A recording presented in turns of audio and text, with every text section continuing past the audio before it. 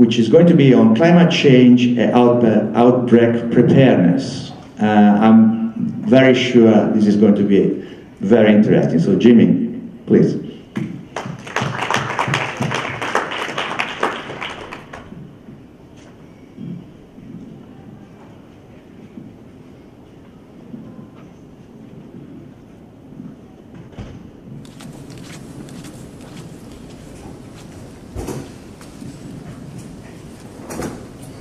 Well, thank you very much for that kind introduction, uh, Umberto, and um, good morning to everybody. It's a pleasure to be here, and it's a privilege to be able to speak to you at this important conference. Now, as Umberto says, I'm going to be talking about planetary health, climate change, and outbreak preparedness, particularly in Africa.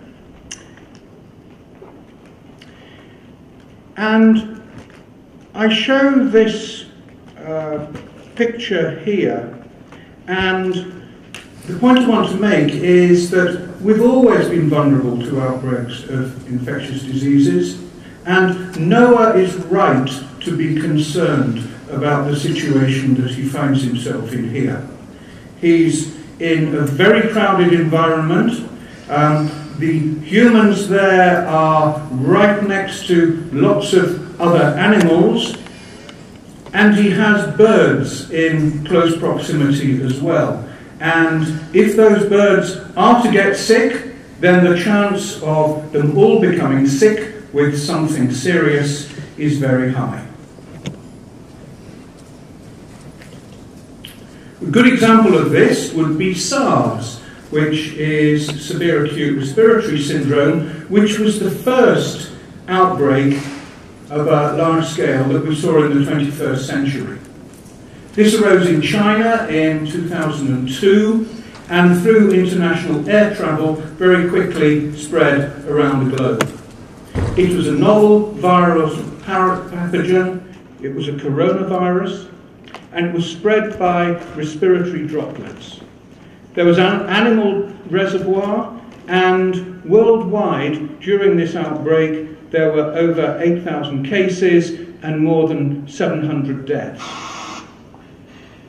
And um, the, the cost of this outbreak um, was uh, estimated to be somewhere between 10 and 30 billion dollars to be able to control it. So the difference between uh, the number of cases that there were and actually the disruption that this caused was, was huge. And that's an important point to keep in mind.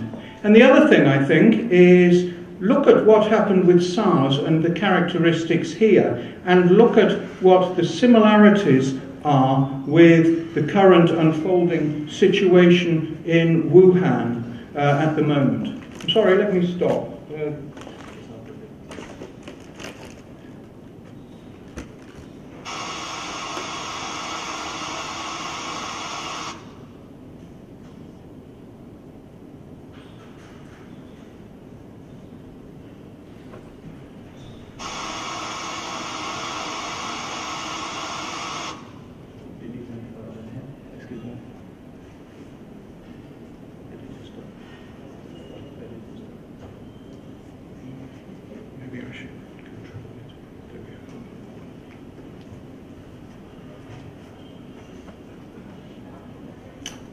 Okay, sorry about that.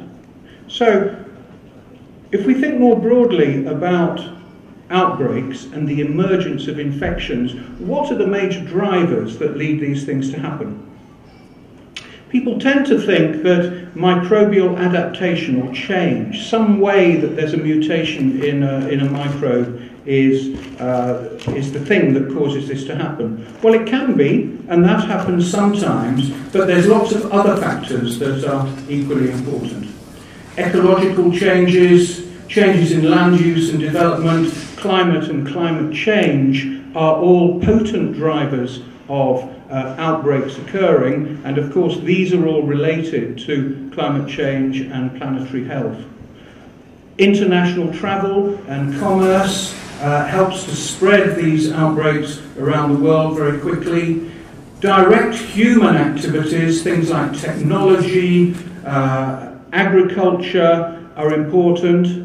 Human populations, which, as I'll show you, uh, are increasing in a way that means that we have much more crowding, urbanization, and the elements of poverty related to that are important. On top of that, human behavior uh, is, is an element here. Um, we as humans, in most countries in the world, don't always do what we're told, and that often can lead to the spread of outbreaks. Immunosuppression can be important. Um, if you think about diseases like HIV, that changes the, um, the infections that are around in uh, the uh, population. So we see outbreaks of tuberculosis occurring and upsurges caused by that immunosuppression. Public health measures, if they break down, that means that we no longer have the protection that we expect. And then humanitarian crises and conflicts and wars are also potent drivers of emergence of infections. So there's elements here which you can group into sort of biological, human, and then environmental, often related to, to uh, planetary health that are relevant here. And I'm going to talk about some of those drivers. One is population growth. What we see with this is more overcrowding, we see more urbanization, and um, Andy Haines yesterday was talking about the importance of uh, healthy, livable cities for people to be able to, to live in. Um, that's very important because there are great challenges. If you've got lots of people somewhere, then to be able to provide safe sanitation for all those people, as well as a water supply, um, things like landfills for waste that develops, or energy consumption to allow people to uh, actually light their homes, cook their food, heat themselves, all become important. And then land usage, particularly to uh, provide food for the people who are in those cities, all become major challenges and affect the environment around. Here's a picture of the UN World Population Estimates. And what we see here are three pie charts. And the, the first one here uh, from 1950 shows a world population of 2.5 billion people.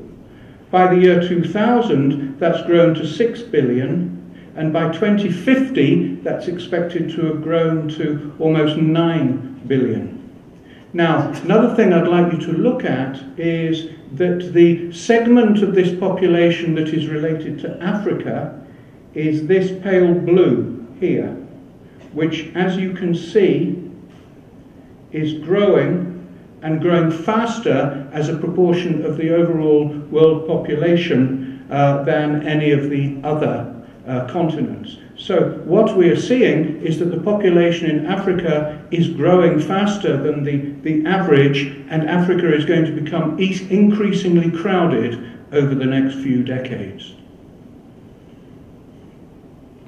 Poverty is also an important uh, determinant because this makes populations vulnerable to infections. About three quarters of a billion people live in extreme poverty, about equally spread between Asia and sub Saharan Africa. And then there are some 2 billion people who are suffering from undernutrition or malnutrition uh, or a lack of basic health care or access to clean water. And so all of these people are vulnerable to infections we place on top of that the fact we're in an increasingly interconnected world with increasing international travel, and it is estimated that some 2 million people cross an international border every day. So the idea that you might be able to insulate one country from what is happening in the rest of the world is pure fantasy. Not just people who are moving, um, agricultural products, and animals are also moving around the world at an increasing rate. And because we share so many pathogens with animals, this again raises the risks of outbreaks and them spreading fast. Now, if you've got a good public health system, you don't notice it. The measure of success of a good public health system is silence. Nothing happens. You only really notice public health systems when they go wrong. And what happens when they go wrong? Well, you get failures in surveillance and response to um, outbreaks that may occur.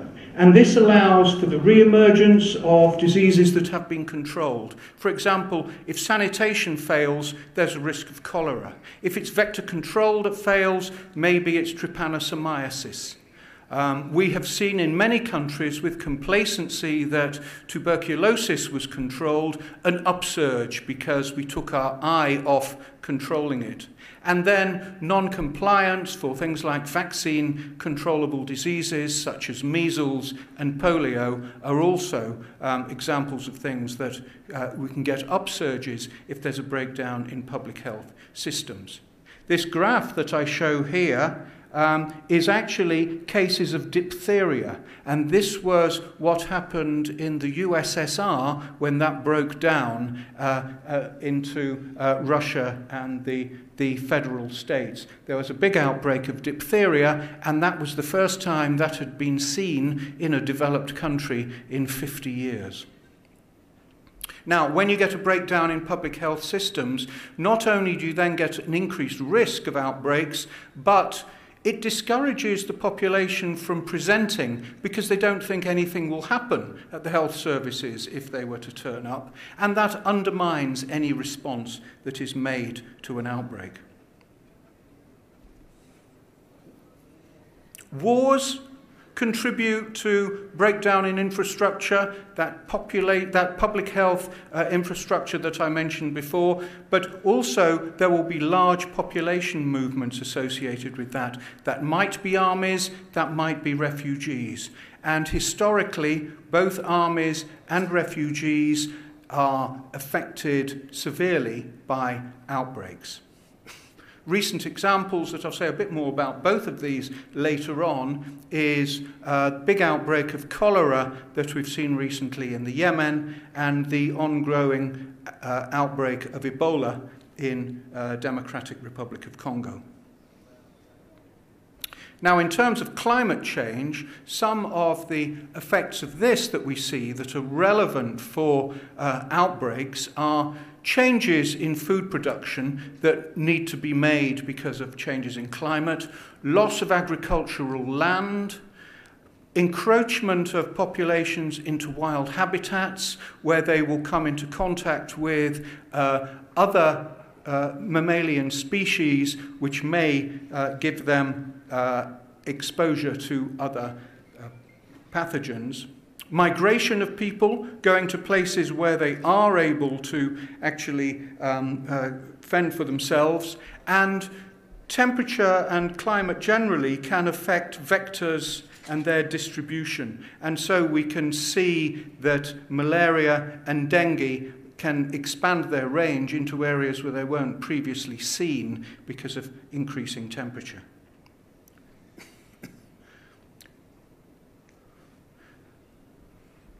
Now, yesterday, um, Andy Haines talked about the great acceleration, and I want to, to, to return to this theme. And here are a set of um, six graphs that show you rapid overconsumption of human populations. And for each of the graphs, um, it, is, it is showing you from 1900 through 1950 to 2000 and to 2010. And this shows us um, water use rising and rising, transportation rising and really accelerating, um, fertilizer use for agriculture rising here, paper production, plastic production and uh, primary energy use here. So all of these things you see are increasing. And there's no sign of any of these actually slowing down, plateauing, or falling. They're all continuing to go up. So globally, we are continuing to overconsume. Now, this has led to uh, the concept of the human global footprint. And what this does is it looks at how much of the resources, the bioresources of the earth that we have, we use as a population in one year. And it then compares that to the amount of natural regeneration that there could be of that resource over that same period. And the red line here shows you equilibrium. That shows you what would happen if we, or shows you where we would be if we were at a sustainable level of using the finite resources that we have on our planet. And as you can see, ever since the early 1970s, we have been over-consuming. And that overconsumption is continuing to rise. And uh, in 2019 reached 170%, which means we're using 70% more resources than are actually available to be regenerated. What is referred to as the overshoot day, the day in the calendar year at which time we've used up all the resources that would be available sustainably, for last year, that was the 29th of July. After that, we were going into debt.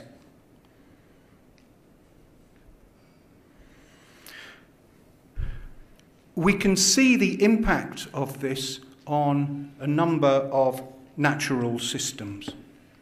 So the first one here shows you um, degradation of, uh, of uh, the biosphere. And this essentially is looking at the loss of species around the world. And as you can see, this is also increasing.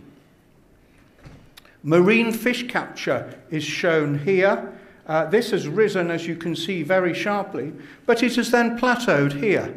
Well, why is it plateaued? It's plateaued because we've caught all the fish. It would go up if we had more fish to catch, but they're simply not there anymore.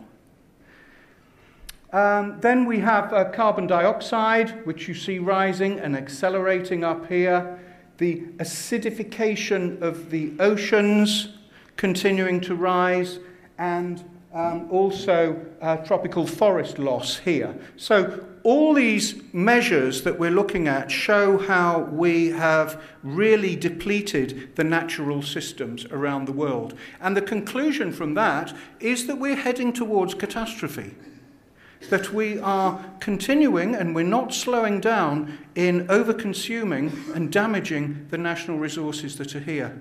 And indeed, the Rockefeller Foundation and Lancet Commission on Planetary Health in 2015 said that we've been mortgaging the health of future generations to realize the economic and development gains in the present. So, in other words, we are damaging the future by looking for progress that's unsustainable today.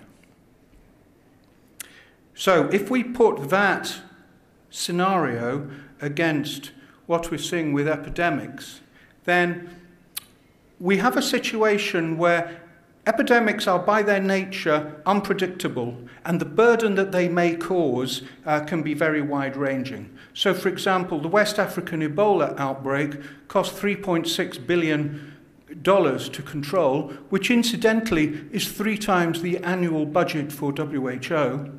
Um, and also, at the same time, the economic losses for the three countries affected was $2.2 billion. But there will be a significant impact just if there's a threat of an outbreak. There don't even need to be any cases. The disruption and the cost uh, will still be there. And indeed, like with SARS, this may be unrelated to the morbidity burden. So, in the West African Ebola outbreak, um, there were fewer cases, there were fewer deaths from Ebola than there were deaths from measles or malaria or maternal deaths. And that's because of the damage that was caused to the health systems just by having the Ebola outbreak in the country. So it's a much wider direct effect than just the uh, outbreak itself.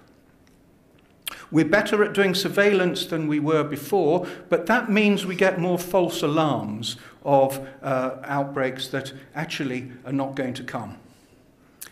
That variation in potential of whether they will cause uh, any problems in the population makes it very difficult for planners to determine how much resource to put against something like this. But communication and risk assessment is absolutely essential to be able to uh, bring along uh, the policymakers and the general public.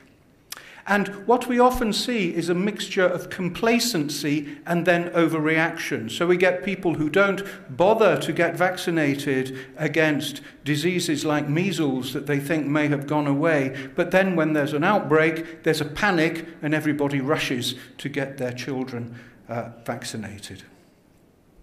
Now, what did we see with Ebola in, in West Africa? This was the largest outbreak that was ever recorded. There were more than 28,000 cases, more than 11,000 deaths. And both the national authorities and WHO were slow to respond to this outbreak. The international health regulations, which are supposed to be there to keep us all safe, did not help in this case. And the international response and research associated it with were both very slow to actually scale up to the, uh, to the levels needed to do this. And I've mentioned the costs uh, associated with controlling this outbreak. So that was a very slow response that happened there. Now, at the moment, we have an outbreak of Ebola in the eastern uh, DRC. This has been going on since August of 2018. There's over 3,400 cases and over 2,200 deaths at the moment. In this case, almost a quarter of a million people have been vaccinated. Now, what happened on this occasion was that DRC is always on high alert for Ebola. It has had um, uh, around 10 outbreaks in the past, and this is where they normally occur. But what happened on this occasion was, although cases started to occur in the east of the country, those local reports did not reach the national authorities in Kinshasa for months. Once those reports did reach the national authority, then they acted very fast, and indeed the international response was very fast. But a lot of time had been lost because this had not got uh, to Kinshasa the information at the first place. Coupled with that, we have poor security in this area. There's more than 100 armed militia that operate in this part of DRC. There's been a long standing humanitarian crisis for over 20 years, and almost half a million people are displaced in the area. So it's not surprising that there's community suspicion of any authorities that are coming in, um, and particularly they're suspicious of why they've been ignored for 20 years and now suddenly people are coming to them and very interested. And this is a difficult area to work in, so the logistics of actually getting here is tough as well. So this is almost a worst case scenario here that you've got a really serious outbreak occurring in somewhere that's difficult to get to, it's insecure, and there's a humanitarian crisis occurring at the same time. We would all love to be able to predict where and when the next outbreak might happen and what it might be. I don't know. I can tell you there's going to be another outbreak, but I don't know what, where, or, or when. Although sometimes it's obvious as things start to evolve that this might happen. And an example would be cholera in Yemen that's occurred recently. There have been more than a million cases of cholera that have occurred. And this is in a vulnerable population, and this could be predicted. There's a civil war that's going on. There are airstrikes on the hospitals. There's a poor water supply and sanitation. And the Public Health Service hasn't been funded there since uh, 2016. So you've got, again, a perfect situation for an outbreak to develop and for it to be very hard to control. But what can we do to try to uh, predict what is going to happen? Well, there's a lot of what's called an epidemic intelligence, where at global level we look to see where there are clusters of diseases that are occurring. And things like ProMed, Health Map, GPHIN, GOARN, um, the uh, uh, ProMed, uh, WHO, all uh, have systems for looking at what is occurring around the world. And in fact, uh, this system is such that WHO receives something like 3,000 signals every month around the world of clusters of diseases that they need to keep under evaluation. That's at the global level. But the really important thing is that the response has to start locally. The rate limiting factor for preventing the spread of an infectious disease isn't that international outbreak response. It's actually what happens at the front line. It's what happens in the communities and the countries that are at risk. And when I talk about the people at the front line, these are the people who are at the front line, and these are the people that we need to rely on to be able to control epidemics. And if that's going to happen, there needs to be trust. There needs to be trust both ways between uh, these people here and the authorities in the Ministry of Health. There needs to be engagement on both sides and also investment uh, to make sure that these people here have what they need and the reassurance to be able to control outbreaks. Now, if they do that, then you need a national uh, health system that is able actually to support a response. When we had the West Africa Ebola outbreak, Liberia, Sierra Leone, and Guinea had some of the weakest health systems in the world. And because infectious diseases don't recognize any borders, that means that's a global weakness, and all of us are vulnerable because of those weak health services that we see elsewhere. And health system strengthening needs to be a priority uh, all around the world if we're going to have uh, uh, security, health security for the, for the future.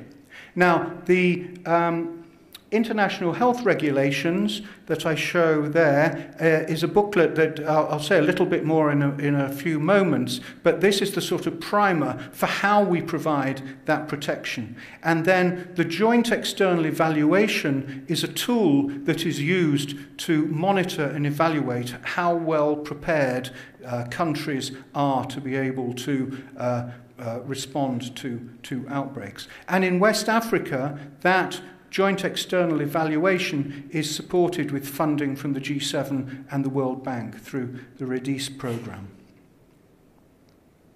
On top of that, there are rapid response teams and global reservists and some of those are international, but perhaps more importantly, national uh, rapid response teams are taking off in, at country level in a number of different places. Uh, Nigeria, DRC, Sudan, South Africa, even Indonesia now have international rapid support teams that are, that are set up and ready to go when outbreaks occur.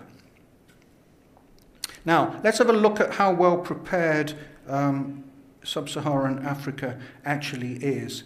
Now, WHO say that there's still a lot to do in the African region, and when I show you the pictures, you'll see why.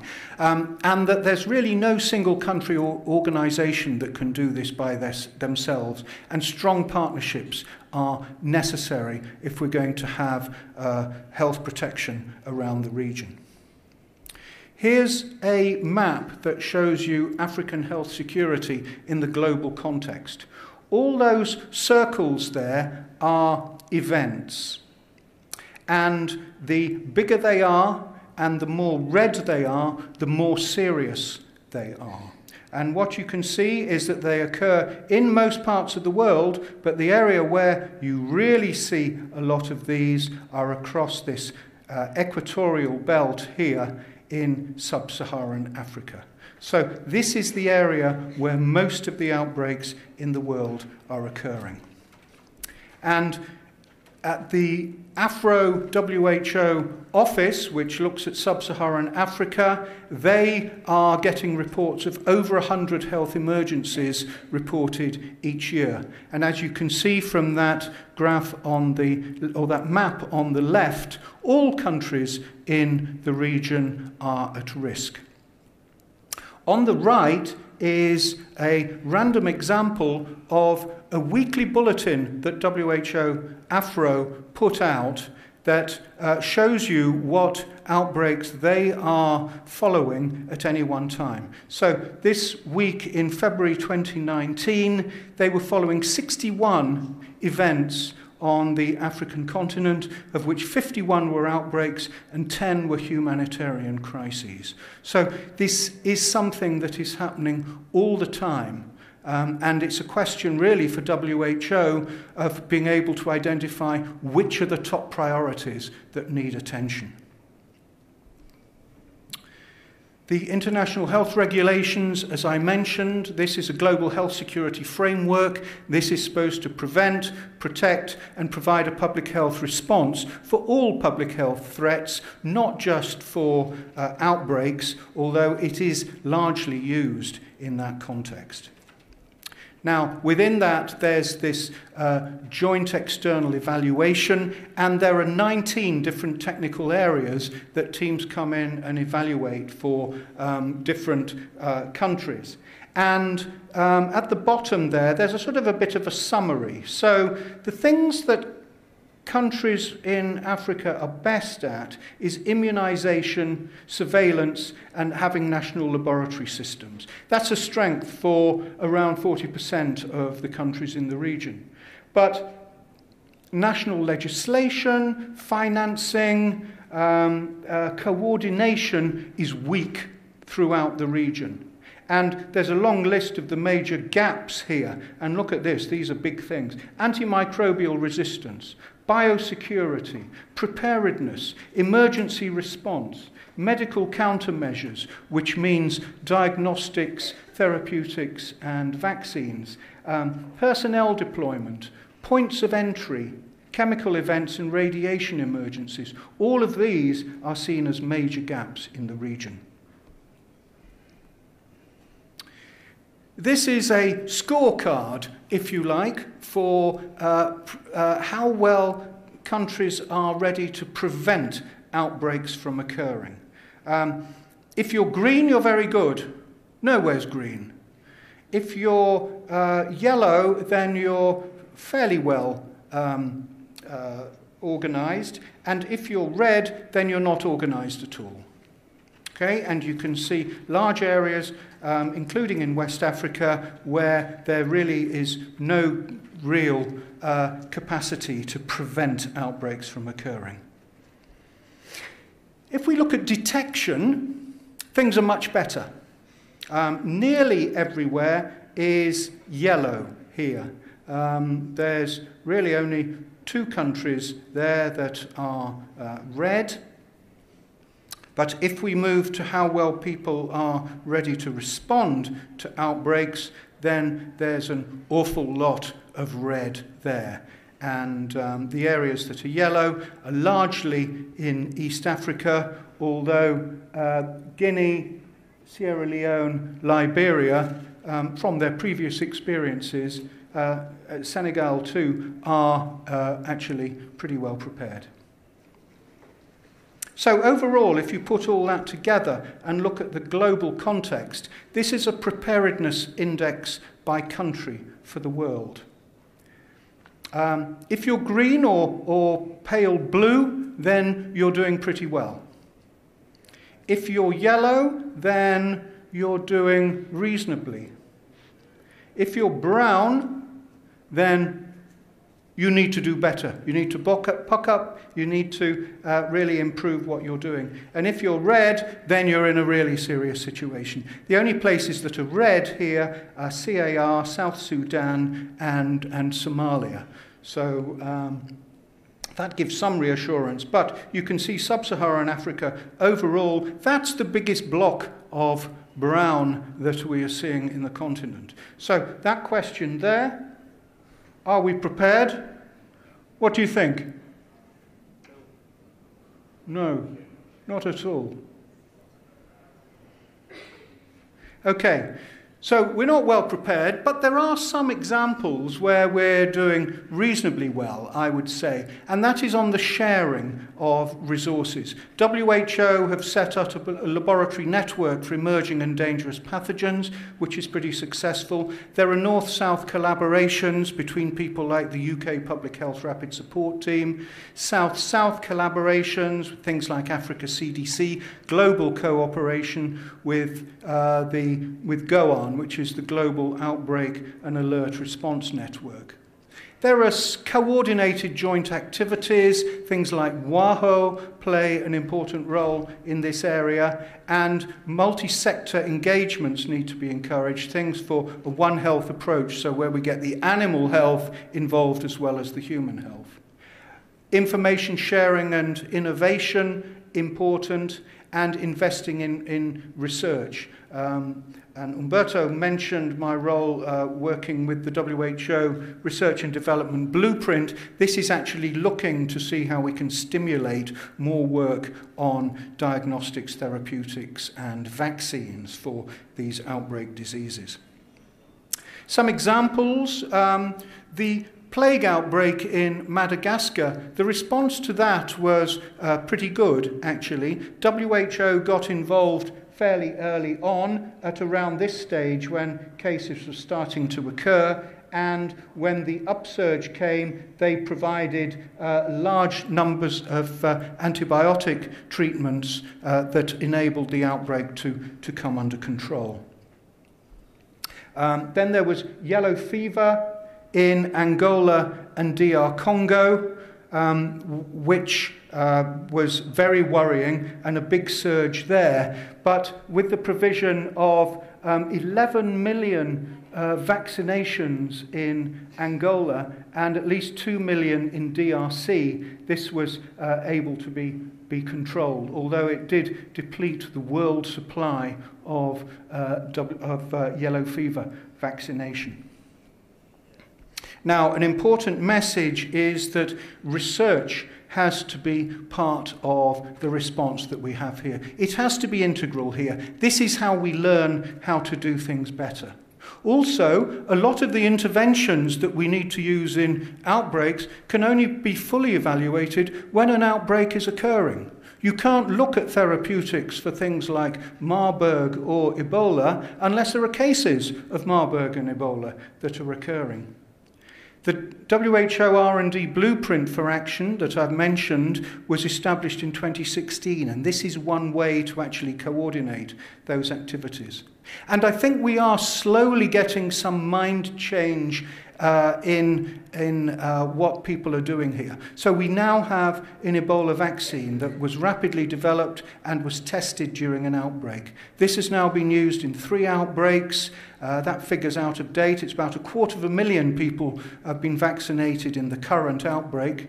But it's not an ideal vaccine. About 50% of people who get it get a fever, and another 50% get arthralgia, pain in their, their joints that persists for some time. So we need a better vaccine than that.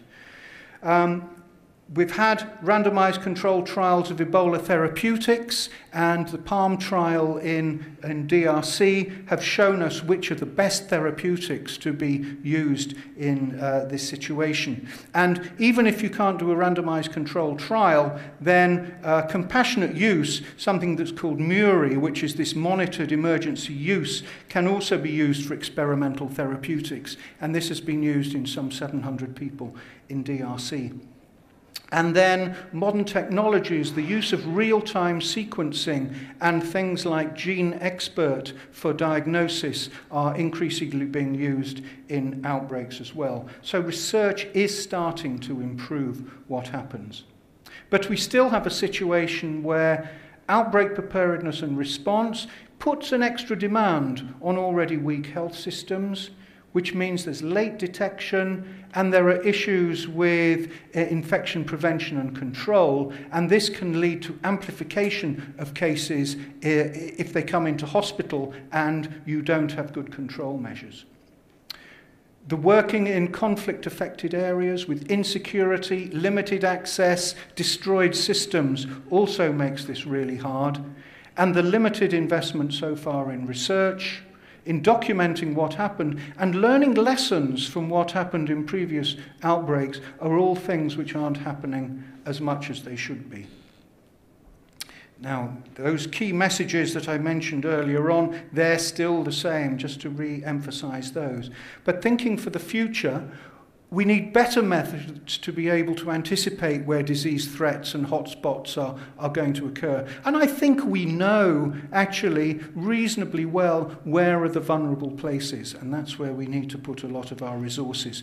We need a solid flow of information on suspect cases, we need preparation and training between outbreaks, and funding so that we can have fast and effective responses. As you can see, that's really not the case for almost every country in sub-Saharan Africa. And we need to build that frontline capacity and the public health systems for a national response. We can't rely on an international response. That can support, but it has to be led by a national response. And we need better tools we need interventions, and research can play an important part of that. And if you think about that and what the future needs, and you think about what the effects of climate change and planetary health are in actually making all of these jobs harder, you can see that we still have a long way to go. Thank you. Let me stop there.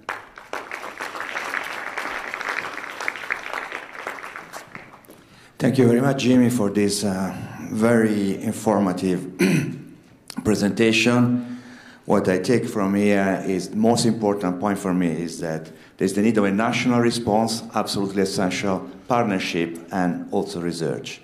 Now, I'm going to uh, allow two questions or comments because we are a bit late. So, who wants to? I got a uh, hands here. Okay, I'm going to do myself. Um, thank, uh, thank you very much. I'm Van Jean-Pierre from the University of Antwerp, the Global Health Institute. I have a question because the issue is that everything is about health systems, surveillance, uh, that we know fast. And there is a discrepancy for me that everything with health systems belongs to national authorities. And the financial streams are coming from national authorities who, in one or other way, have to find the resources through different uh, systems. But once it becomes an emergency or if something, then it's international money. And I think there's a huge discrepancy here because the resources that should prevent or detect are national, but then when we have a problem, it suddenly becomes international. And then international, there are a lot of resources, and if you see what we spend after when something happens, and if that money would have been used on for on national levels, uh, then we wouldn't have had the problem. So, isn't there a way of thinking that's coming that healthcare and health systems is in fact in our globalized world an international good and not a national good anymore? Uh, and that financing that we should use international solidarity to finance health systems uh, to prevent also. Uh, and I guess this is a rhetorical question, but please, Jimmy. yeah. yeah. Well, what's the way? What's going on? And that's that's what I mean. Yeah, I, I, do agree with you. Um, what I would add to that is that it's not like it is just, it's a local response or bang, it's an international response. There is a gradation. WHO have a, a, a, system of grades, and they will look at the severity of what happens and they will assess whether they feel a country should be managing it by themselves. And it is, at the end of the day, the national authority's responsibility to look after their population that they have, or whether they need to provide some assistance or a lot of assistance, or whether they need to go in in a big way. Um, and it may look as though at international level there are lots of resources, but there aren't really. Um, and WHO are constantly worrying that the plans that they have, even for DRC, they've got about enough money for another four weeks, another six weeks, or so on. And so they also have a worry there. But overall, there does need to be more commitment to this if we want to keep the planet safe. Thank you. Any? Yes? Please tell your name and affiliation. Good morning, everybody. I am Seni, representing Extinction Rebellion Gambia. So my question is, in your presentation, you talked about the international community response. Did, they didn't respond. So why didn't they respond? And also last year, the cyclone that struck Mozambique that killed 1,000 people and displaced many. Um, the IMF just loaned Mozambique instead of them trying to, to, to, to, to talk about the climate and ecological emergency, they loaned Mozambique, which is also a developing country. So uh, that is so hard, and how can those people repay that debt while they are trying to help those people that have been affected by the cyclone Idai? So, General, my question is why didn't they respond to the emergency? Thank you. Okay, Jimmy? Okay, I, I think the West Africa Ebola outbreak was a wake up call for the whole uh, global community. We weren't prepared, we weren't ready to respond to a large scale outbreak in the way that we should. And there was a lot of soul searching that went on after that to ensure that that should not happen again, that it should not take three months to actually uh, scale up uh, a, a response. So there was a lesson that was, was learned from there. Um, people could respond to small scale outbreaks, but they really were not ready to respond to large scale outbreaks.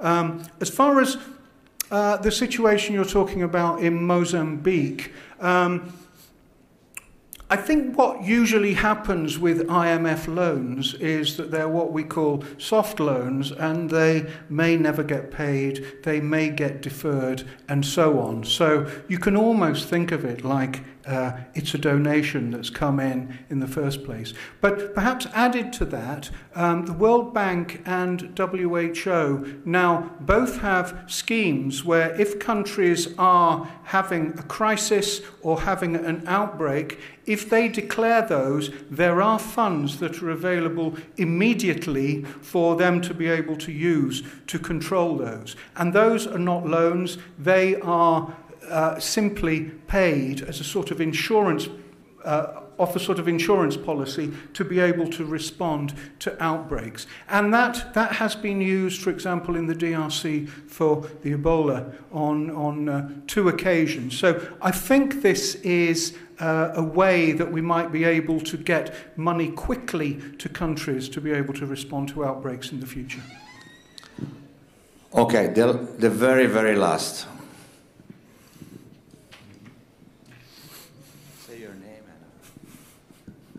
Thank you very much for that presentation. Um, my name is Mamadou Ba. I'm working at the MRC. Um, I want to ask this question with regards to the outbreak in Sierra Leone. We've learned lesson before the outbreak in Sierra Leone where we have intervention. Biomedical scientists come in with their ideas of controlling infectious diseases outbreak. And we've seen failure happening there because we are not sensitive to cultural, um, cultural awareness and all those kind of things and tra traditional practice. And we've seen again in Congo, we're still having the same problem because most of the resistance is because of lack of trust. And it seems like we're not still learning our mistakes in previous outbreak. What is your take on this? I think that's a very important point, and if I'd had more time, I'd have included that in my, my presentation that understanding local context and understanding local perceptions are absolutely crucial to be able to control outbreaks. In my opinion, if you don't have community engagement and involvement, you can't control an outbreak. You have to have that. That's absolutely required. Um, there is increasing recognition of the importance of, of understanding the anthropology and social scientists' involvement in that, but it does seem to me that still that's largely lip service rather than is actually being included as much as it should be in what happens. So I think we still have some problems in DRC as a result of that. It's seen very much as an alien um, outside force that is coming in to deal with this and very little local involvement in, in what is, what is happening, which would make it much more acceptable. So I think we've got a way to go, and I think you make an important point. Okay, thank you very much. I think we have to stop here. Uh, I would like to thank Jimmy and let give me a round of applause. Thank you. Thank you, Jimmy. Now we have one, two, three, four, four presentation. Each of the each of them 15 minutes. So I would like to ask the speaker to make the presentation in 10 minutes so we have time for some question at the end. So the first one is Nombre Apollinaire. Uh, is it, is Nombre Apollinaire here? Yes, yes, he's here. Okay, from Burkina Faso. Bonjour et bienvenue. So um, I think he's from Centre Muraz, is it? No? Centre Muraz? No. No. From CNRFP. Oh, CNRFP. So Centre National Recherche et Formation Paludisme. Yeah. Yeah. Okay, uh, so thanks for being here. He's going to present using drones to characterize mosquito environments in Burkina Faso.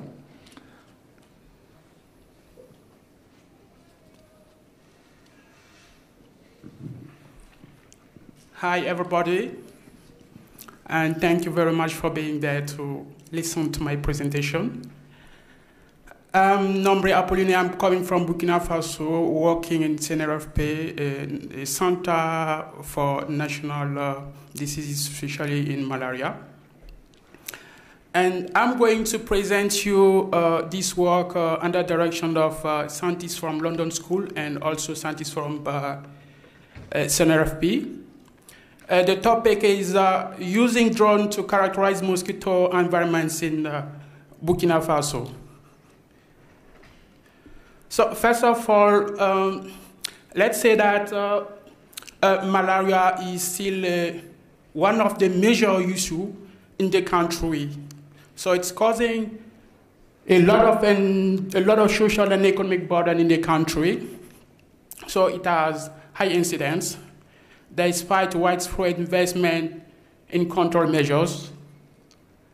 In 2017, we registered up to 11 million malaria cases, and it's harmful. So, the INDI project, the PFAS Infection Dynamics and Transmission and Form Elimination project was conducted in uh, Sapone. Sapone is uh, a health and demographic surveillance system, and it's not far from the main town, Ouagadougou. And uh, it has uh, two, 22 local health facilities covering up to 83 villages. So it's a good place to do researches. We have a small meteor station where we can collect uh, temperature, drainage data, wind speed, humidity. But before we go through our topic, we have to go back in the previous studies and understand what's happened in this area. So, uh, the entomologist Guelbeogo uh, did a previous study in this area, and it, it was not that uh, we have uh, a large variation in terms of number of mosquitoes bites both seasonally and uh, within compounds. So the graph A show you, show you the transmission season variation, while the B show you the variation between uh, compounds. So to understand uh, which factors are influencing more the risk of malaria in this place, we're gonna respond to two questions. The first one is how does local environment affect household risk? And the next one is how can we use aerial and satellite remote sensing data to characterize this risk? To do that, we collected two kind of data. So we use drone imageries, and we also use uh, we did uh, ground surveys. And here you can see uh, a drone imagery, and uh, we did here an orthomosaic and digital surface model.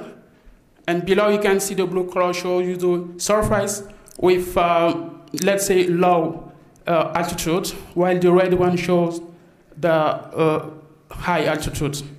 So the blue one can be, uh, uh, it's a place where we can have water bodies.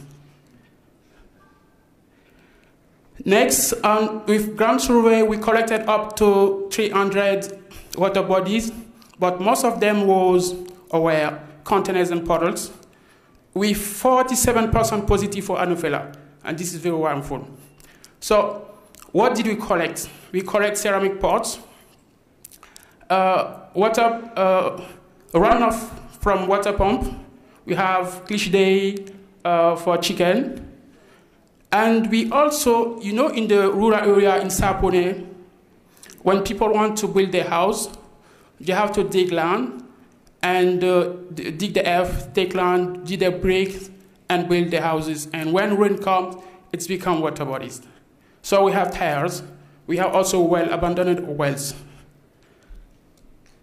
The next here we show you uh, a drone imagery uh, with uh, this is a, a water body visible imagery. Here we have also water bodies visible in imagery. Are mainly ceramic pots. The next, we try to we have tried to overlap uh, the compound involved in the project and uh, water bodies, GPS points, and water body visible in imagery. So the purple circle shows us um, the compounds involved in the, in the project. The water body, and the GPS water body, we have in yellow, we have in yellow, and uh, we have also the red one are showing you the, the, the water bodies with, uh, uh, without larva inside, while the, the green one shows us presence of the water body. So the water body visible in imagery are in yellow color. The next thing we have tried to do is to, to calculate the specificity of the drone. And here we got something very interesting. With 22% of water bodies, but of course, limited detection of small containers or water bodies under uh, trees. So the next things to do was to to incorporate multispectral imagery. So for that, we use uh, Sentinel data. Uh, you can see here that we use uh, from uh, December 2018 to February 2019. Uh, there is a large variation in terms of uh, vegetation and in terms of water body sizes. Here you have two pictures. The left one is from the dry season, while the right one is from the rainy season. So, in conclusion, we can recommend drone for identifying large water bodies or view areas hard to access. Of course, there are limitations in identifying certain breeding sites. The next point is we note that uh, larva, larva habitats are primarily man-made. So we have the transensitized people. And the third point is the use of uh, aerial imagery uh, with multispectral camera to develop better risk map because for this work we use Sentinel data. It will be easy to it will be very interesting to use also the imagery data with multispectral camera to do it. I took advantage here to present you our network, the Macondo, uh, network for the use of drone for malaria vector control. You can have more information than the London website, or you can contact me directly after the meeting, or you can also contact uh, Kallista Chan, who is there, and uh, you will have more information. Thank you very much for your attention.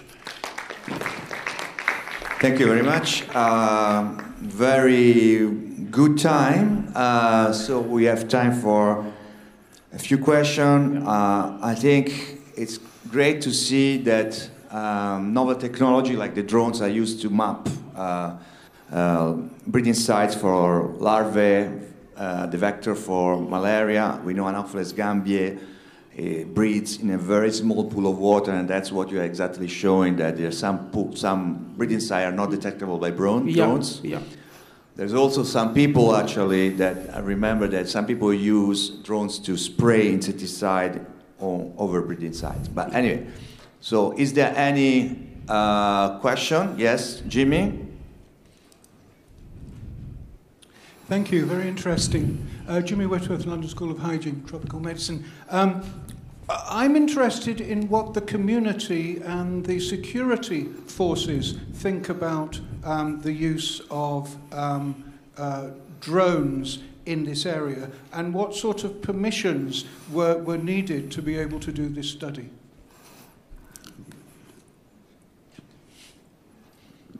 Okay, thank you very much, Professor James.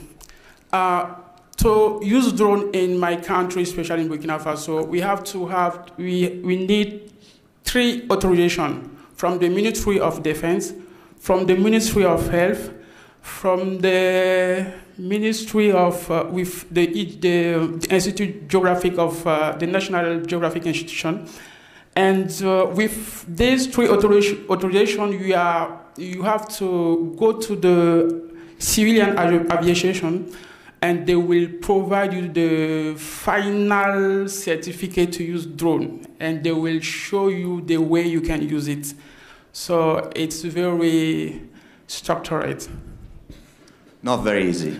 Not Yeah. very easy. Yeah. Okay. Yes. Another question here.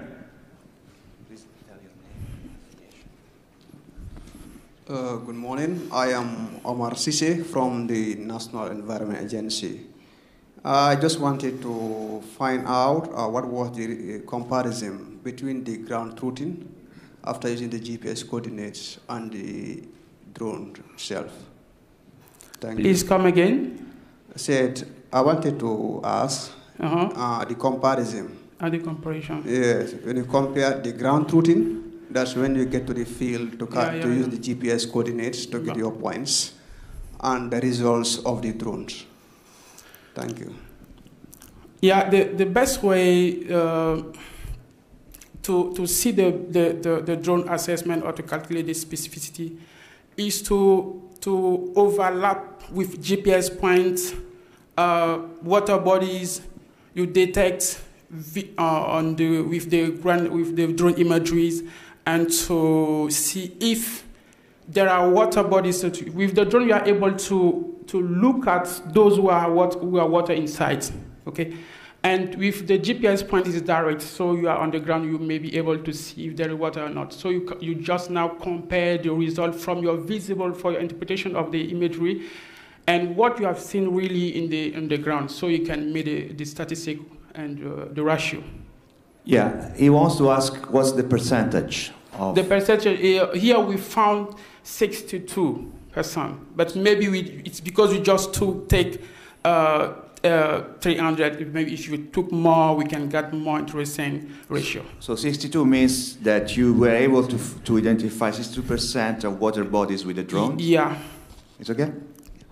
Okay, good. Uh, I think thank you very much for this presentation. Round of applause. Okay. Thank you very much. We go to the next presentation. Um, again, malaria. Very happy for that. Oyewale Mayowa Morakinyo. Okay, good. um, I guess from Nigeria. He's going to talk about housing type and risk of malaria among under five children in Nigeria.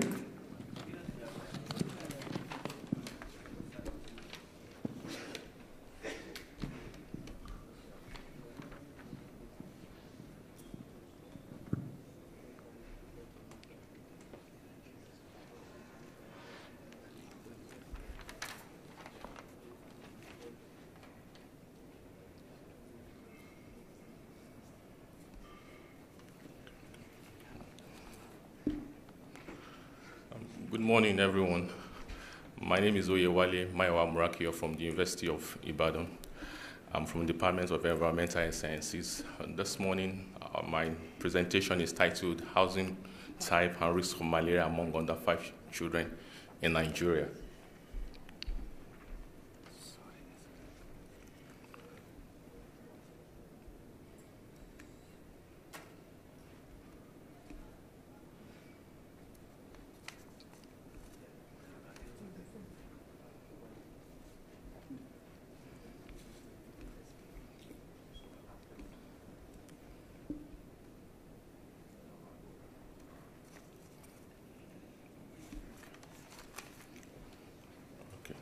Um, Thank you very much.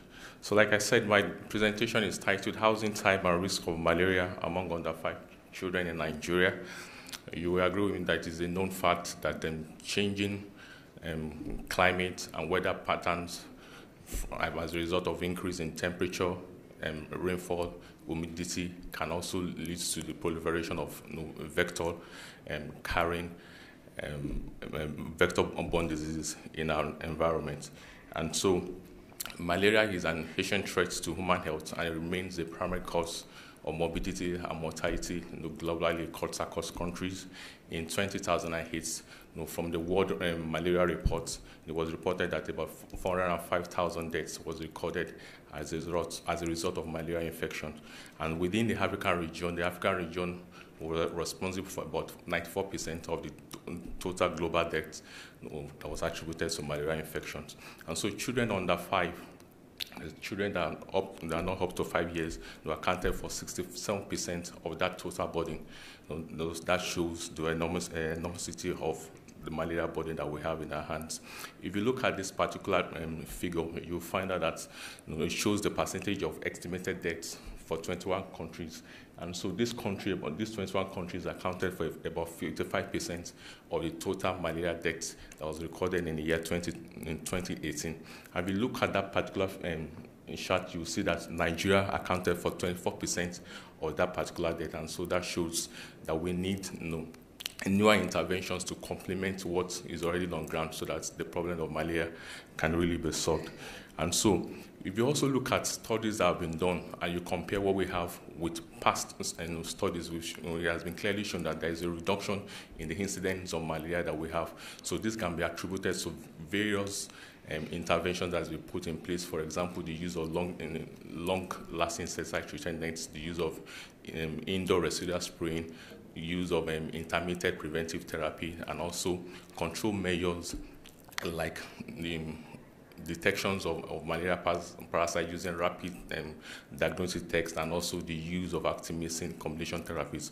All these have resulted in reducing the incidence of um, malaria body that we are. But we find out that there are also additional you know, interventions that are needed because the various um, interventions I've earlier mentioned are also being plagued with you know, one problem or, or the other. For example, the use of long insecticide treatment nets. There have been studies that have also been shown that you also find mosquitoes even within those long and you know, long-lasting um, insecticide nets. There are also instances of you know, mosquito being resistant to some of the residual you know, spray that people use. And so newer interventions and newer programs are coming up.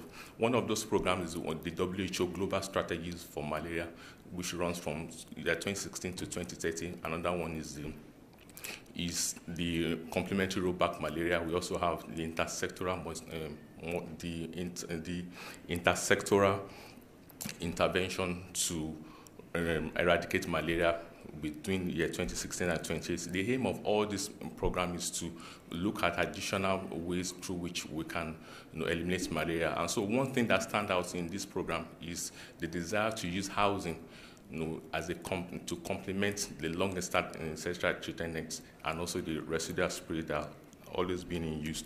And so the justification of this study, like I earlier said, is to is that there's a compelling, compelling evidence that housing improvements enhance protection of residents from vector-borne diseases. And so in Nigeria, there is paucity of information on how housing type may influence malaria transmission among under five children. And so for this study, we tested the hypothesis that improved housing is not associated with reduction in malaria prevalence among other five children in Nigeria. So for this study, we used a secondary data. So the data was collected by the you know, various body within Nigeria is a national representative data that cuts across the 30 states of, of Nigeria. The country is also divided into um, geopolitical zones. So we have six political zones. Within political zones, we, also have local governments. Within local governments, we have localities and also the enumeration area. So the houses that were selected you know, were conduct, were selected based on you know, different at different multi-stage of sampling, and um, a probability systematic sampling was used to select 25 households in each of the enumeration areas. And so at the end of the day, we have about 330 enumeration areas and a total of 8,020 women that were between age 15 and 49 years of age that were residing permanently in those households at the night prior to the survey were selected by the data originators. So questionnaires were used to obtain information as regards their um, malaria prevention practices. And also women, I'm so sorry, rather children that under five years within those households that were selected, their blood samples were, were collected and were analyzed using rapid diagnosis tests and also microscopy to test for the presence of malaria parasites in their blood. And so for our variables, the dependent variable was the outcome of the text for, e for each of the random um, diagnosis tests and also for microscopy. And our main independent variable was, was, was the housing type in which those children live. So housing was classified into two. We have the improved housing and also the unimproved housing on the and improved and unimproved housing types based on the material with which the houses were built. And so we look, the data originator looks at the, the collected information on the floor, the roof, and the wall for each housing. And so for the flooring materials, you know, improved materials include you know, um, houses that has this particular, uh, that has this floor type that are built with cement, ceramic tiles, vinyl, asphalt strips, Paraquets and polished wood and unimproved include houses that use hard sand dung, rudimentary wood planks, palm, bamboo, and others for their floors. And also for the floor materials, we also classified into improved and unimproved. Then also the roofing materials, you know, based on the, the type of materials that they used to you know, were classified as either improved or unimproved. Then in addition, apart from the floor the, the, the wall and also the roof. So houses that has com- that were completely improved for for the three categories were classified as totally improved. Then we also calculate any house that has maybe one either improved or non-improved was calculated was, was categorized as partially improved, and those that have nothing to be improved were known as unimproved housing. So in addition to these, you know, improved housings also include houses that has features that pre- that has closed eaves you know, that has screens on their windows and their doors to, to prevent vector, um, malaria vectors from coming inside the, the, households. So other variables that we're controlled for in our analysis include um, the household wealth. We look at the age of the child. We look at the sex of the child, the mother's education, the place of residence, their region, their location, is it rural or urban. We wanted to know if they um, slept under long-lasting insecticidal treatment or ever treatment, and also if they had fever in the last two weeks. So our data analysis, we use um, STATSAT version 14 to analyze our data, and the basic descriptive statistics were used to describe the distribution of the material within the variables. We use logistic regression to identify the risk factors you know, that might predispose the children to malaria. Then we also tested for the presence of other variables were controlled for at the multi-stage analysis. So we also used the multivariate analysis and three models were used. At the first model, the first model, we looked at the relationship between the housing type and the result from the malaria test. At the second model, we, we looked at the relationship between the outcome of the malaria test in addition to if this, you know, the children uses long-lasting insecticidal nets and ever-treated nets. And at the third stage, we introduce other um, independent variables so that we'll be able to know that, to be able to, to find out if what we're looking at is actually the relationship we'll be looking at is actually what it is. And so data were weighted and signals was evaluated at 5%. The weighting is like is a, an inflation um, factor so that we can extrapolate what we have within the sample to the general population, which is the target population. The data organizers you know, you know, applied for uh, approval, and so the study protocol was approved. In our results, in all, a total of 6,991 children were recruited into the survey, and among them, 5,753 and 6,000 6,025 were tested for both RDT and microscopy. And so we found out that the percentage of children that are positive for malaria increased with increase in age, with increase in age. So, so many explanations could be given to this. For example, we know that you know, immunoglobulin G can be transferred from mothers even to child during pregnancy, and so that can explain that can, that can be a factor in, in, in showing, for example, if I show this table to you, that can be a factor in you know, telling us that you know, um, malaria um, infection increases with age. So within age zero to six, you find out there is a reduction in the, um, in the prevalence of malaria and that type because the children are still dependent on their mother, and so the antibodies can be transferred to them, and so they still enjoy that particular immunity. Apart from that, children within age zero to six, uh, most of them are still breastfeeding, and so there can also be trans, you know, the transfer of immunoglobulin A, you know, from the breast milk to the to the children. Studies have shown that immunoglobulin A can prevent can you know, reduce malaria parasite when, they, you know, when used in, in vitro. We also find that as males were more prone to malaria than females. People and children in rural areas were more prone than those in, in, the urban areas. The one result that also stands out is that you know, children that, that slept under insecticidal and mosquito nets you know, had more malaria.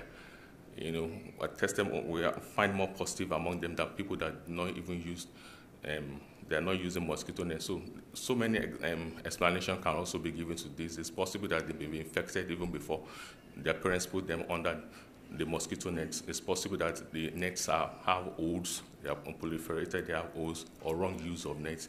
There also could also be as a result of a reduction, a decline in the bioefficacy of those nets. So, so many um, explanations can be given to that.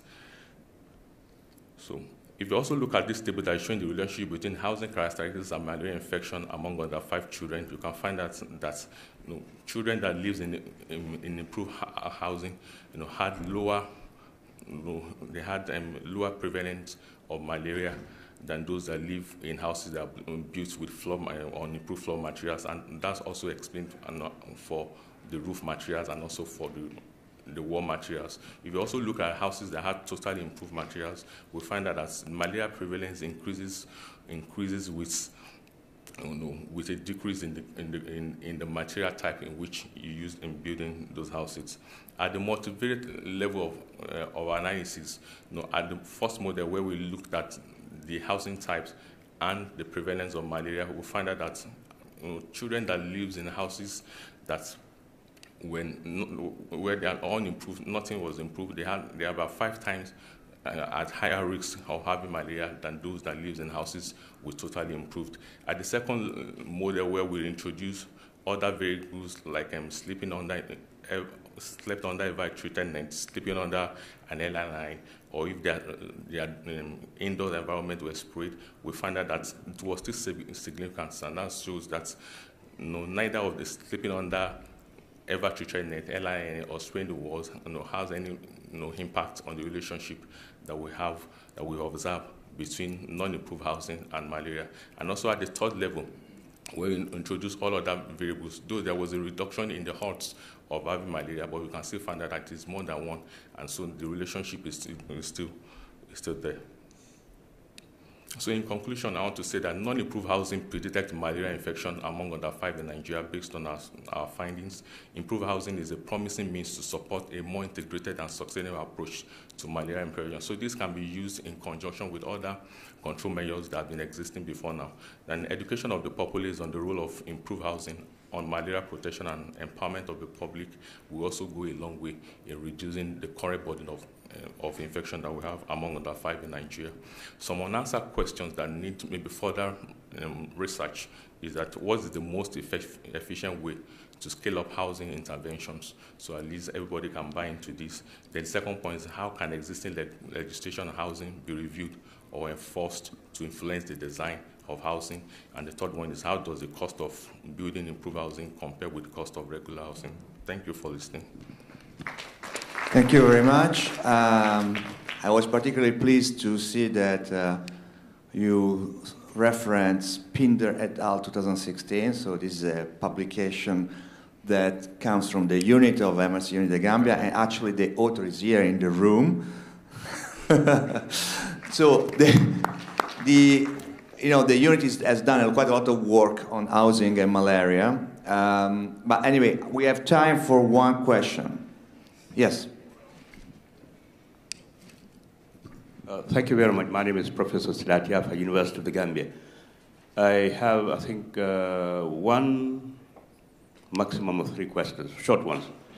The first one on the prevalence of malaria in Africa, you showed Nigeria being dominant, 24%. Was that per capita or just at the uh, national level? Because there's a difference between the two. Uh, if you can, yeah. He says 24% Nigeria. Is that per capita or is that uh, nationwide? Per capita meaning uh, per number of people in Nigeria affected by malaria. Is that 24% or on average countrywide?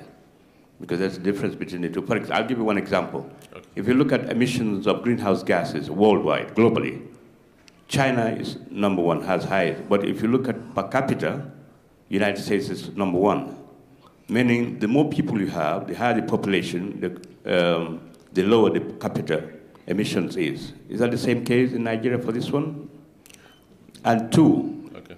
you said uh, malaria infection, if you compare males, under five uh, to females under five. The is higher in, in, in your numbers, I think. It's higher among uh, males. Was that statistically significant or not? And also, if we compare improved and unimproved housing, malaria, he said uh, it's lower, malaria infection is lower under improved housing. But is that also statistically uh, significant if we compare the improved and unimproved housing? Thank you. Okay, thank you very much for um, for your um, contribution and also the, uh, the, the questions. I want to start with the the last two. You know, if you can look at this particular table, you can see that it's um, it's significant. The relationship, it's um, it's significant. Let me show you this. Yes, even when we control for other factors in model two and also model three, even the presence of other independent variables like sleeping under long-lasting treated nets, slept under ever-treated nets, and indoor respiratory spraying, it was still very significant. And people that lived on, in houses that were totally unimproved, they have a, a of about they are five, about five times higher at the risk of having malaria than those that lives in partially and in, um, partially improved housing.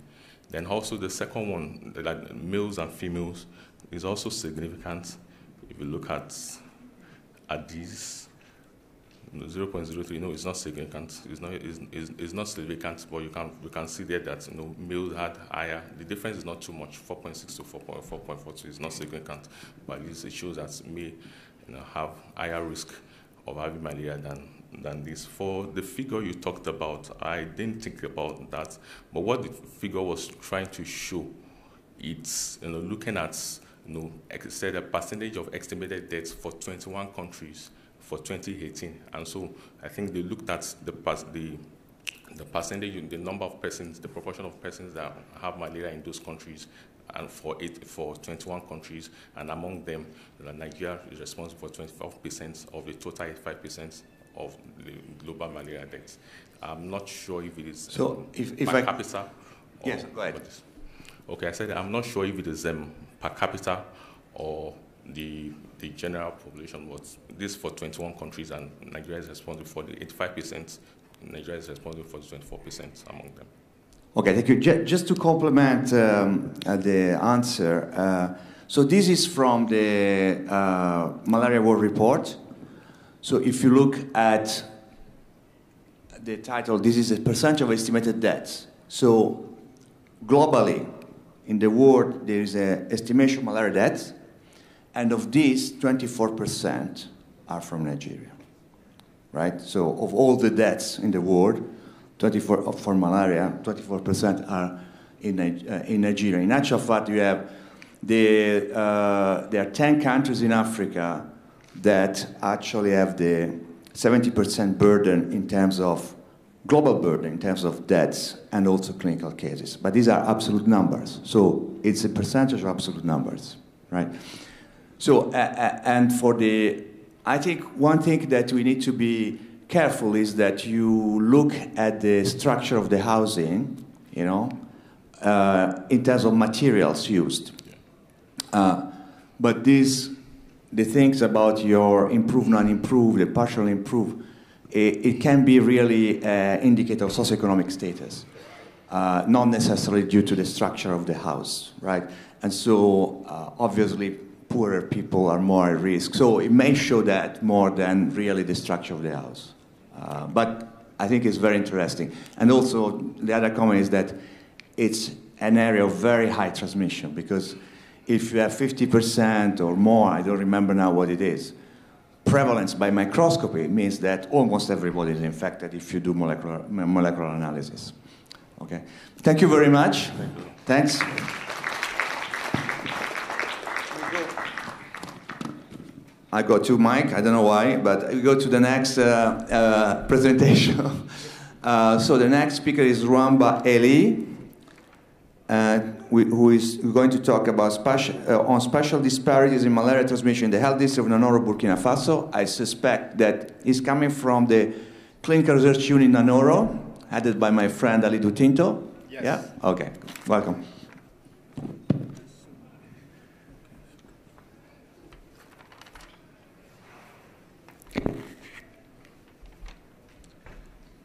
So thank you. My name is Rouamba Eli. I'm from Burkina Faso in the, in the clinical research unit of NANORO. I'm going to present you the spatial disparities in malaria transmission in the health district of Nanoro as the following plan. An introduction, objective, method, result, a discussion uh, point, and conclusion. We can say that in Burkina Faso, climate is characterized the last 50 years by a shift of isohyets from north to south. Then analysis of parameters, of climatic parameters during the last, these last 50 years showed a significant change in annual rainfall and temperature across the country and a decrease of water resources in the country. The overcome of this situation is the, in, is the intervention of government to implement to boost uh, the agricultural production and creation intensive production and economic growth pole around man-made dam uh, across the country. Then the construction of the dam of Soum, which is located in one or two kilometers of in the northwest of the Ouagadougou, of Ouagadougou contribute to strengthen the resilience of population in order to reduce the vulnerability to climate change.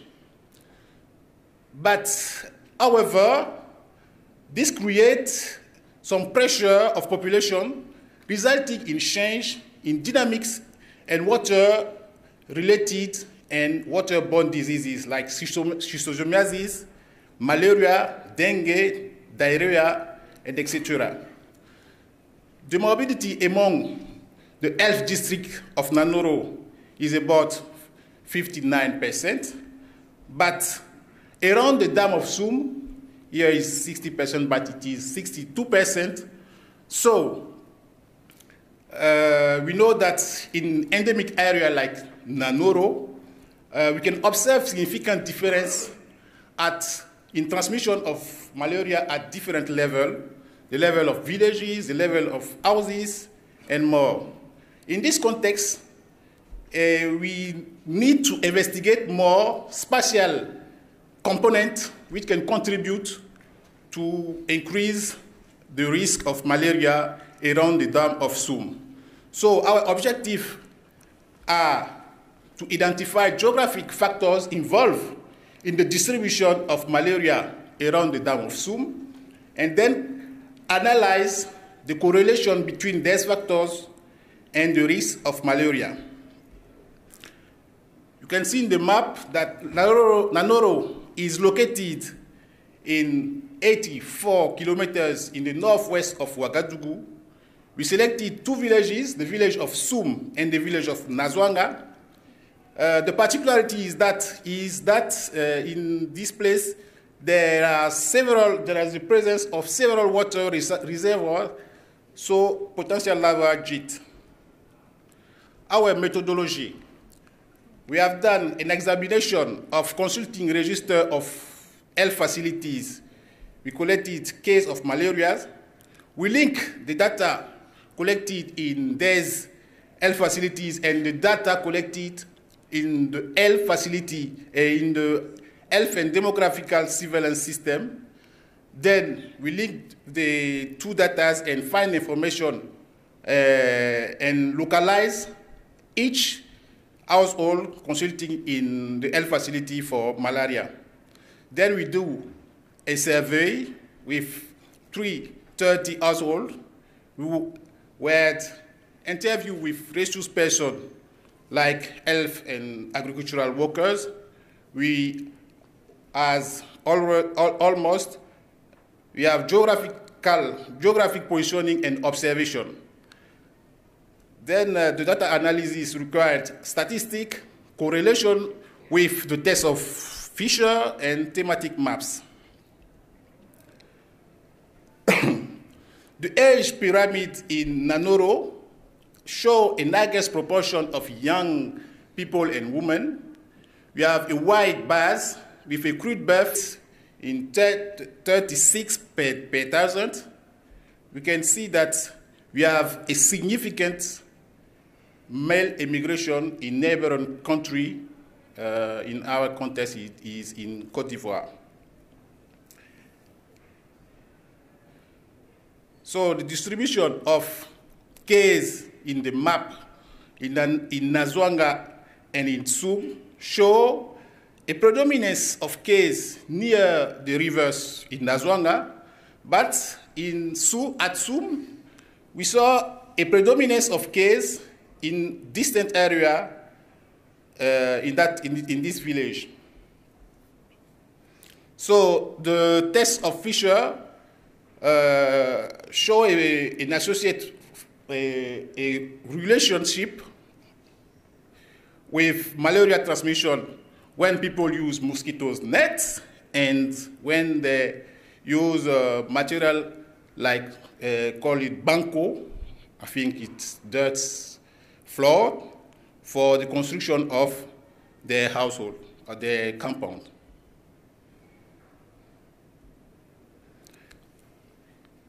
So like as, as I say, the banco is the main build material used. 93% uh, of the population use it in the two villages, and more than 50% use it for the construction of the floor.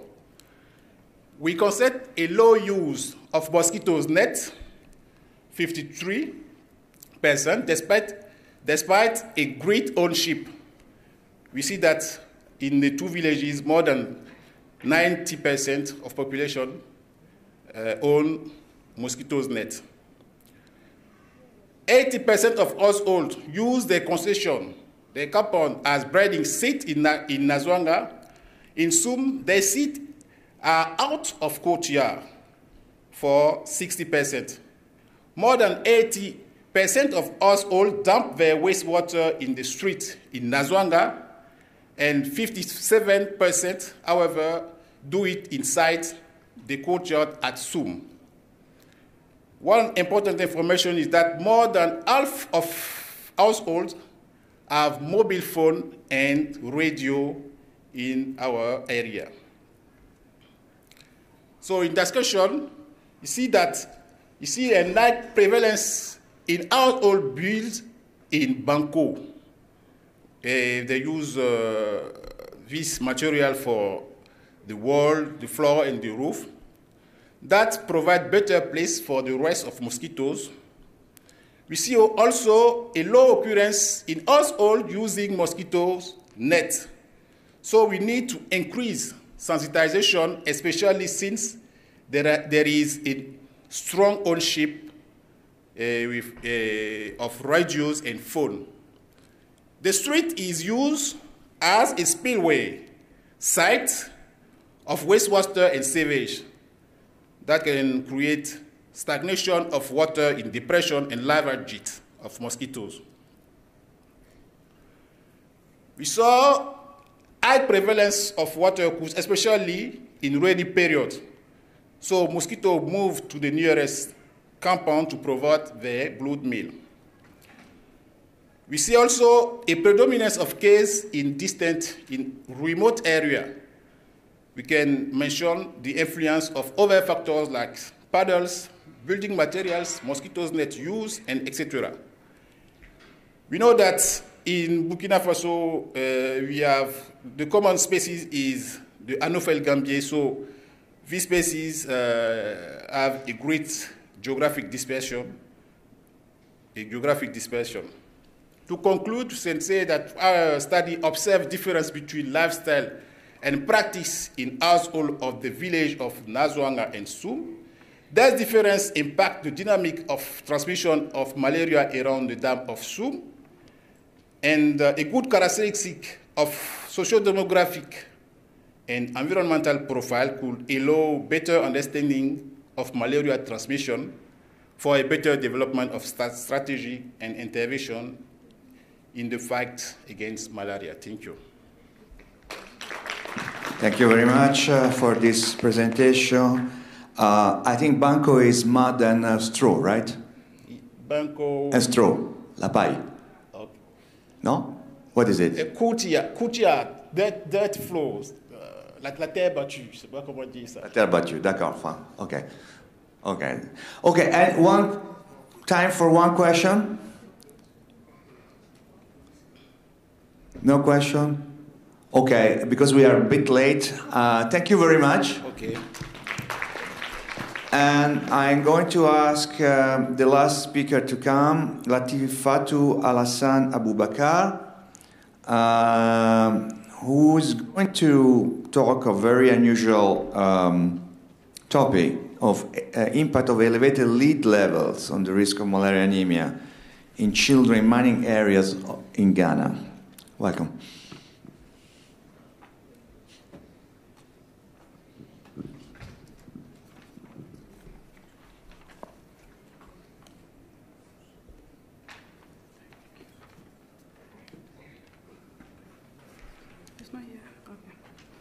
Good morning, everyone. I'm Latif Fatu Al Hassan from the Kintampo Health Research Center Ghana, that's the central Ghana. On behalf of uh, the team, I'm presenting on the topic uh, the impact of elevated lead levels, ELL for short, on the risk of anemia and malaria among children living in uh, a mining area in Ghana called the Ahafo area.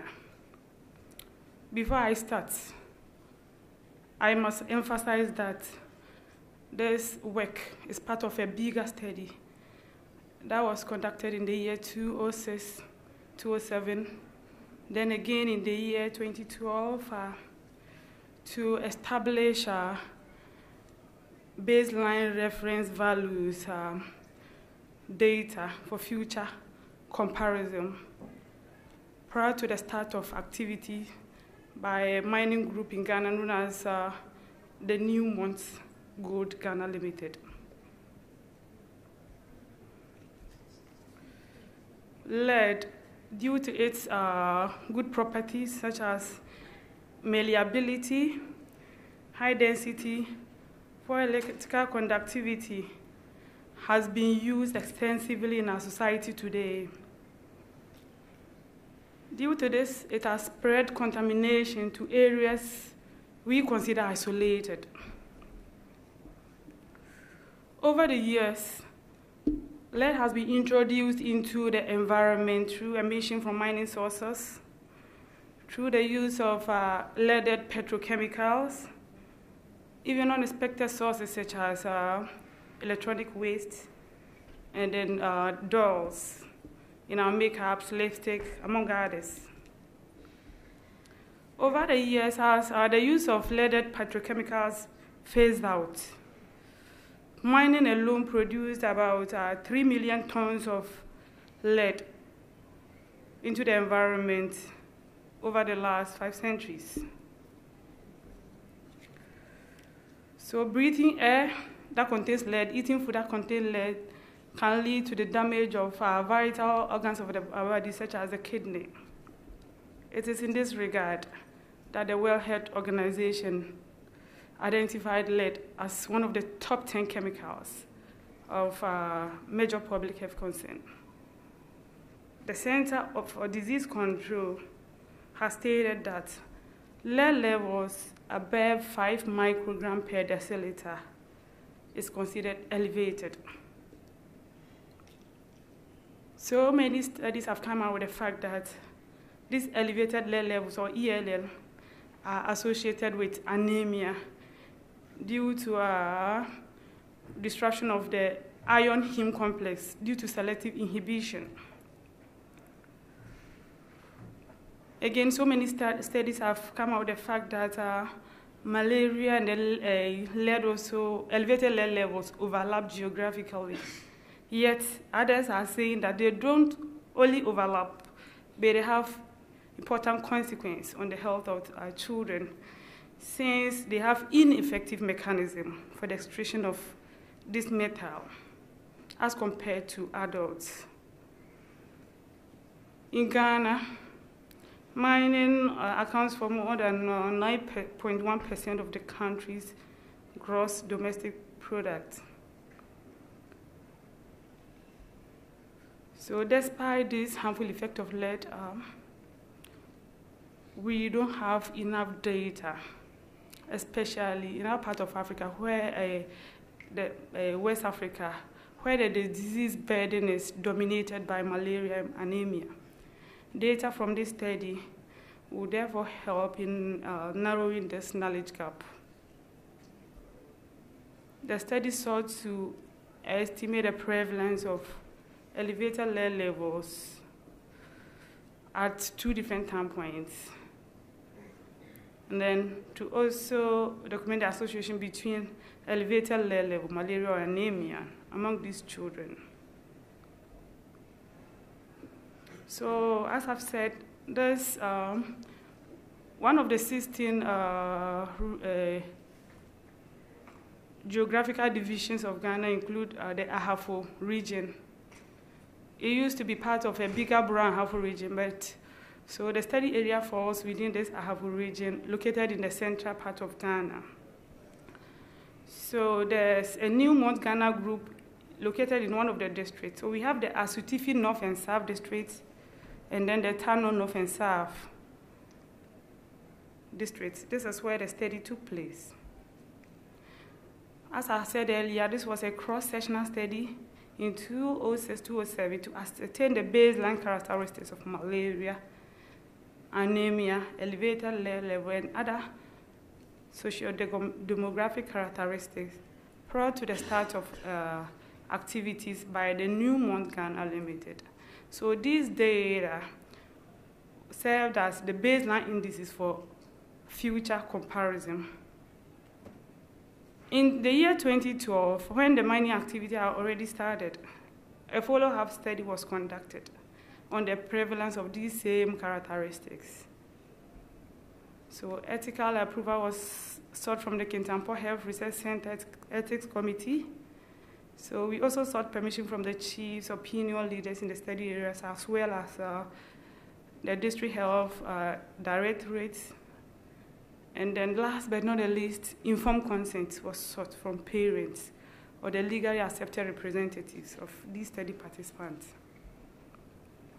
So uh, in the lab, uh, malaria and, uh, determination was done, as well as lead and then uh, anemia.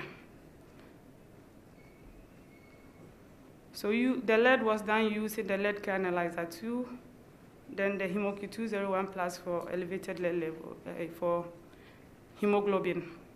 In all these, strict quality control measures were taken. So statistically, data was uh, doubly entered on the Microsoft Access version 14, and then the distribution of lead was assessed and then categorized into two. We have elevated lead levels, that was defined as lead levels greater than 5 microgram per deciliter or low otherwise, and then lead poison, that was uh, defined as lead levels greater than 10 microgram per deciliter or low otherwise. So univariate analysis was performed to establish the association between ELL with these characteristics. So this was uh, the cohort characteristics. So in the year 2006, we recruited a total of 1,646. In 2012, uh, it was 872. And then, so the male were dominating in both years. For the household size, um, all our majority of our participants were in a household that were about, that had more than five persons per household. Malaria prevalence in uh, 206 was um, 22.6 anemia prevalence was uh, 53 in 2006. In 2012, anemia was 35.6, and then malaria in the same year, 2006, was 26.72. So before this resource, I must again emphasize that uh, after uh, the 2006-2012 study, the uh, report of the survey was uh, given to the Ghana Health Service and then the Newmont Ghana Gold Limited. Uh, so with this report, interventions such as uh, the provision of potable drinking water and then uh, uh, malaria control measures were undertaken before the Newmont started its activity. So in the year 20, uh, 2012, uh, malaria was more prevalent than the uh, first time point, and then anemia less than the first time point. So when it comes to elevated level, it decreased drastically from uh, 206. That was from 43.4 to 22.7 in 2012. On factors associated with uh, ELL, we came out of the fact that uh, children with uh, malaria parasite count greater than 5,000 parasite per microliter of blood were 32% more likely to get elevated lead level. This was, however, not significant. For anemia, children were, with anemia were 19% more likely to get elevated lead level with a p-value of 0.043, which was quite significant. In conclusion, the prevalence of elevated lead level at the two time points in the study area was more than 20%. There was, however, a weak evidence to support the association between these three parameters. I would like to thank the director, staff of Kintampo of Research Center, Ghana Health Service, Newmont Ghana Gold Limited, participants as well as their parents, and then organizing committee for the immense support. Thank you very much. Thank you um, for this interesting talk. Uh, I mean, my first impression is lead high elevated lead level are very high in this group of children, even in 2006. Uh, anyway, one or two questions maximum. Is there any question?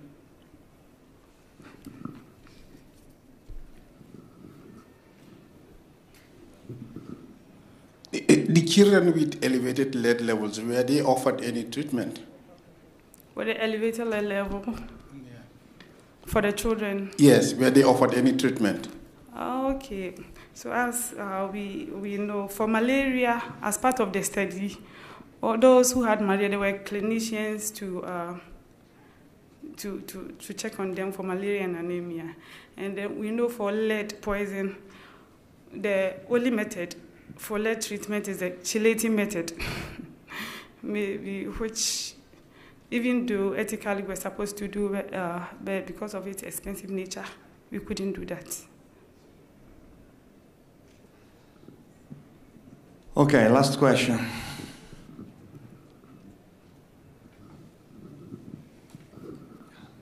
Thank you very much for that presentation.